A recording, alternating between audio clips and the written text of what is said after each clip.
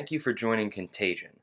I'm Assistant Editor Grant Gallagher here with a brief on our latest infectious disease clinical coverage. A new Ebola outbreak appears to be emerging in the Democratic Republic of the Congo, just as the outbreak in the Kivu region has begun its tentative close. As of June 1st, there were at least six cases of Ebola detected in a port city, with a population of more than 1.2 million people. In COVID related news, a study team investigated the ideal physical distancing for avoiding SARS CoV 2 transmission and assessed the use of eye protection as well as face coverage in preventing acquisition. It appears keeping a distance and wearing protective apparel is beneficial, but none of the methods assessed totally prevent infection. Other measures, such as vigorous hand hygiene, remain vitally important.